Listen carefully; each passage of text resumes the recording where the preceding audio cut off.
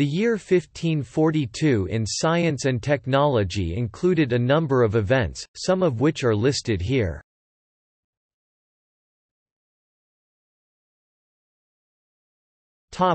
Botany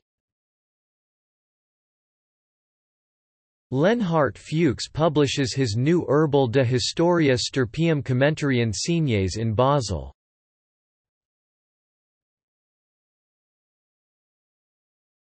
Topic: Exploration.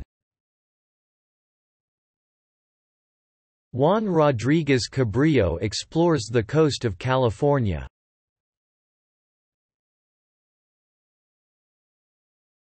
Topic: Physiology and medicine. Jean Fernel publishes De Naturali Parte Medicinae, presenting human physiology as integral to the study of medicine.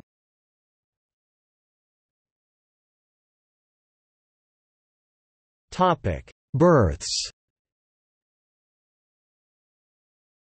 Approximately. Date: Peter Sorensen, Danish physician, died 1602. Topic: Deaths. August, Peter Henlein, Nuremberg watchmaker, born 1479 80ths.